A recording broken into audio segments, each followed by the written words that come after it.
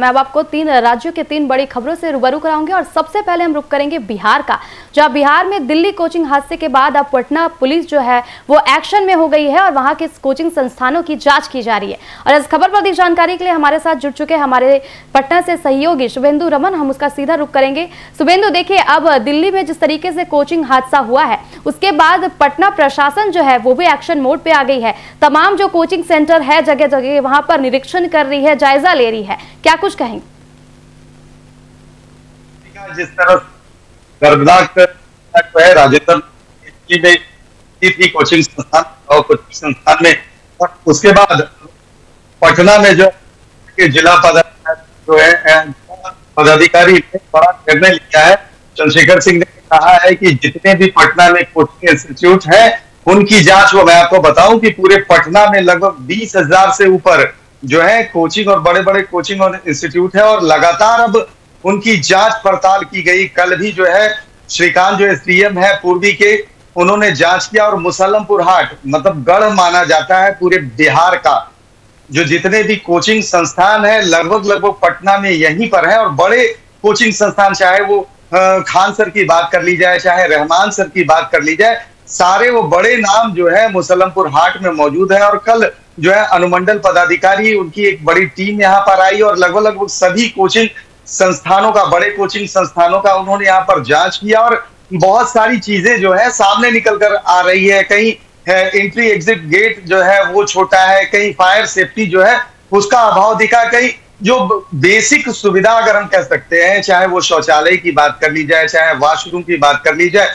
वो सारी बेसिक सुविधाएँ भी बहुत बड़े बड़े इंस्टीट्यूट में जो है, नदारत दिखी है। पटना के अगर बोरिंग रोड चौराहे की बात कर ली जाए तो वहाँ पर सिर्फ़ एक ही इंस्टीट्यूट का जो है, अभी तक निबंधन हुआ है। सबसे बड़ी चीज़ है कि खान सर और रहमान सर जो बड़े नाम माने जाते हैं यहाँ पर पटना में उनके भी पेपर की जाँच चल रही है। हालाँकि उन्होंने कहा है कि आज तक जो है, वो दस्तावेज़ सारे हैं, वो कार्यालय में जमा करवा देंगे। लेकिन सबसे बड़ी बात यह है कि जिस तरह से लगातार जो कोचिंग इंस्टीट्यूट बढ़ रहे हैं। लगभग 10 लाख से भी ऊपर परीक्षार्थी हैं अवंतिका।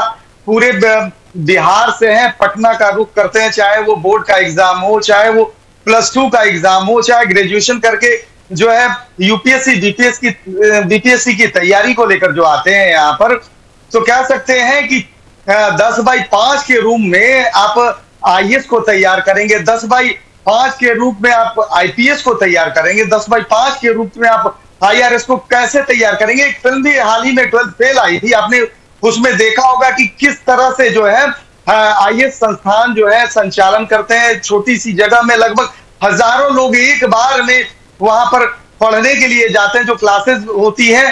तो आप इससे अंदाज़ा लगा सकती है कि अगर मान लीजिए कोई दुर्घटना घटती है तो उसमें छात्र है भगदड़ में। अभी तक जितने भी हादसे हुए हैं, उसमें देखा गया है कि सबसे पहले भगदड़ मचता है और भगदड़ मचने के बाद जो है कोई घटना घटती है। फायर सेफ्टी को लेकर भी मैं बताऊँ कि जगह जगह जो है फायर सेफ्टी भी नहीं लगे हुए हैं, किट्स नहीं लगे हुए हैं। साथ ही साथ, जो एंट्री और एग्जिट का गेट है, वो बहुत छोटा है। साथ ही साथ मैं बताऊँ कि इमरजेंसी गेट हर एक कोचिंग संस्थान को जो मानक है, बिहार कोचिंग संस्थान अधिनियम के तहत कहा गया है कि जितने भी कोचिंग है, उनको एक इमरजेंसी गेट भी रखना होगा ताकि अगर कोई दुर्घटना घटती है तो छात्र एवं छात्राएँ उस इमरजेंसी गेट से बाहर निकल सके। लेकिन बहुत कम ऐसे इंस्टीट्यूट हैं जहाँ पर ये इमरजेंसी बहुत क्या शून्य के बराबर अगर सौ में कहें तो निन्यानवे परसेंट ऐसे इंस्टीट्यूट हैं जिसमें इमरजेंसी गेट नहीं है। हाँ, हाल ही में जो होटल देखा था आपने पाल होटल में जब दुर्घटना हुई थी जब आग लगी थी तो वहाँ पर फायर सेफ्टी नहीं था और किस तरह से वहाँ पर हलकान मचा था अवंतिका तो बिल्कुल। सरकार जी जी। जी जो है, सरकार एक बार एक्शन में है, जिला पदाधिकारी जो चंद्रशेखर सिंह है, वो एक्शन में दिख रहे हैं। उन्होंने तुरंत ही इसका जो है, फरमान जारी किया है जाँच के लिए और लगभग दो हफ़्ते का समय दिया गया है। जो भी कोचिंग इंस्टीट्यूट्स हैं, उनको दो हफ़्ते का समय दिया गया है कि क्या क्या खामियाँ हैं, वो सारी चीज़ें जो है, बाहर निकालकर सामने लाई लाई जाए। और मैं आपको सबसे बड़ी बात बताऊँ कि जो मुसलमपुर हाट का एरिया है कोचिंग का एक तरह से कह, सकते हैं कि फैक्ट्री है। यहाँ पर जो जितने कोचिंग है मैं समझता हूँ पूरे बिहार को भी जोड़ अगर लिया जाए तो उतने कोचिंग आपको नहीं मिलेंगे। सड़कें शाम के समय ऐसी होती है अवंतिका की उस पर चलना मुश्किल होता है। लगभग हज़ारों हज़ार की संख्या में जो है छात्र पढ़ाई करने के लिए और सबसे बड़ी बात कि एक बैच में 500 से हज़ार छात्र जो है पढ़ते हैं। इससे आप अंदाज़ा लगा सकते हैं कि अगर कोई दुर्घटना घटती है तो वहाँ का दृश्य कैसा होगा?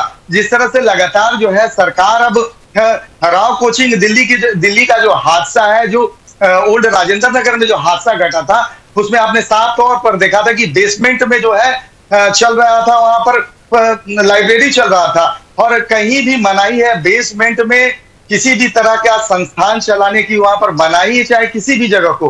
तो जिस तरह से लापरवाही, लगातार कोचिंग संस्थान भी बड़े मुनाफे के लिए जो है जो है नियम को है ताक पर रखकर काम कर रहे हैं तो कहीं ना कहीं सरकार अब एक्शन मोड में आई है और पूरी तरीके से दिल्ली की घटना से सबक लेते हुए बिहार में पटना के जो जिलाधिकारी हैं, चंद्रशेखर सिंह ने इसकी पहल की और लगातार, कल मैं आपको बताऊँ, पटना की बात की जाए या दानापुर की बात की जाए, चाहे मसौड़ी की बात की जाए या पटना अंचल की बात की जाए, इन तमाम जो जगहों पर कोचिंग के जितने भी संस्थान हैं, वहाँ पर कल अनुमंडल पदाधिकारी के नेतृत्व में सभी लोगों ने, चाहे उसमें कार्यपालक पदाधिकारी हैं, जो अंचलाधिकारी हैं, चाहे वो थाना अध्यक्ष हो, चाहे प्रखंड शिक्षा पदाधिकारी, सारे वो लोग जो है, टीम है, वो गई थी और वहाँ पर उन्होंने जाँच किया था और जाँच में लगभग लगभग जो जितने भी कोचिंग है, वो मानक में अधूरे पाए गए।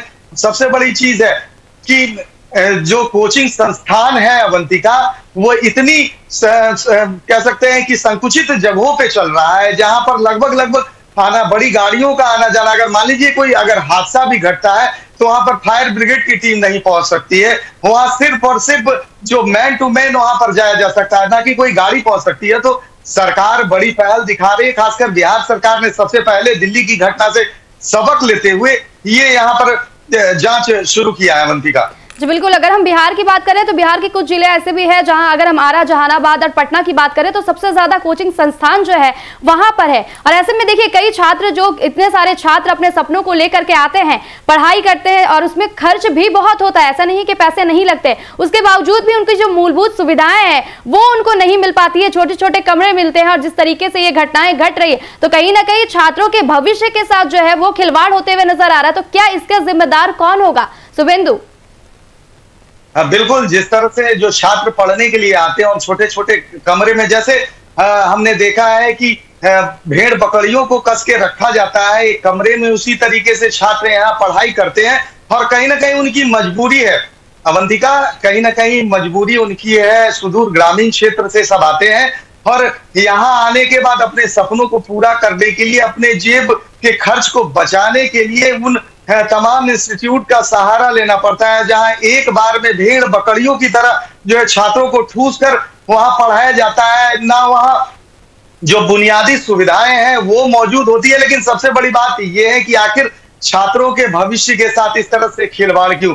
आखिर जिस तरह से कोचिंग संचालक जितने भी हैं, छात्रों के भविष्य के साथ खिलवाड़ कर रहे हैं, अगर कोई भी हादसा होता है तो उसकी ज़िम्मेदारी आखिर कौन लेगा?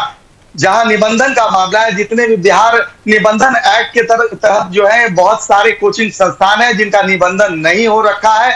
वो जिस तरह से कोचिंग का संचालन अवैध रूप से कर रहे हैं, कहीं ना कहीं ये प्रश्न खड़ा करता है कि आखिर ऐसा क्यों?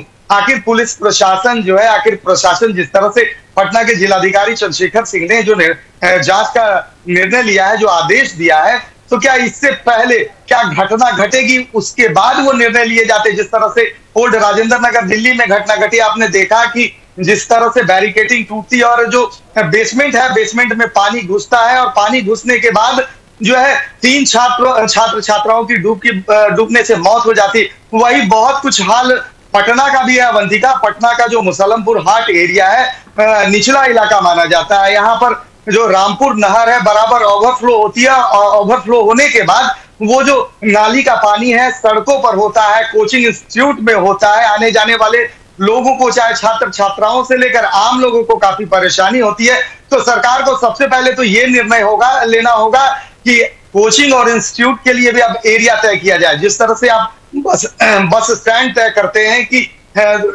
वहाँ पर जगह काफ़ी पर्याप्त मात्रा में हो, जिस तरह से आप बाज़ार समिति तय करते हैं कि वहाँ पर बिक्री जो हो रही है तो वहाँ पर पर्याप्त जगह हो, उसी तरीके से।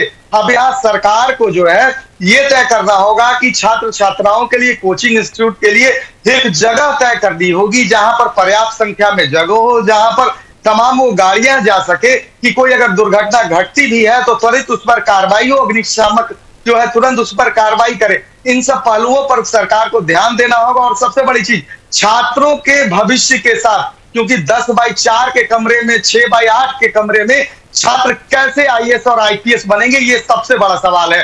क्योंकि जिस तरह से उनको पढ़ाई के लिए पटना आकर एक मोटी फ़ीस के बाद एक छोटे से कमरे में बंद करके कह सकते हैं उसको कि ठूस के पढ़ाया जाता है। जिस तरह से फैक्ट्री में आप देखते हैं कि फैक्ट्री में जिस तरह से लेबर को ठूस के वहाँ पर काम करवाया जाता है, उसी तरह से एक तरह से कह सकते हैं कि ये फैक्ट्री बन चुका है। पटना का जितना भी कोचिंग संस्थान है, एक तरफ़ से फैक्ट्री बन चुका है, जहाँ पर छात्र छात्राओं के भविष्य के साथ खिलवाड़ हो रहा है। राज्य सरकार ने पहल इससे पहले नहीं की थी, लेकिन हराव कोचिंग की से सबक लेते हुए पटना के जिलाधिकारी ने जो जाँच का निर्णय दिया है, बहुत ही मैं समझता हूँ काबिल तारीफ़ निर्णय है, अवंतिका। चलिए बहुत बहुत धन्यवाद शुभेंदु इस खबर पर अधिक जानकारी हम लोगों से साझा करने के लिए, दर्शकों से साझा करने के लिए। तो देखिए, पटना में भी जो है, दिल्ली के बाद अब पटना प्रशासन एक्शन पर आ चुके हैं और तमाम कोचिंग सेंटरों को की जो है, वो जाँच की जा रही है और अनियमितता पाने पर उसे सील करने के भी आदेश दिए गए हैं। तो अब देखने वाली बात होती है कि इस घटना के बाद अब पटना प्रशासन जो है, इसे लेकर कितने अलर्ट मोड पर है और कितनी कुछ कार्रवाई की जाती है।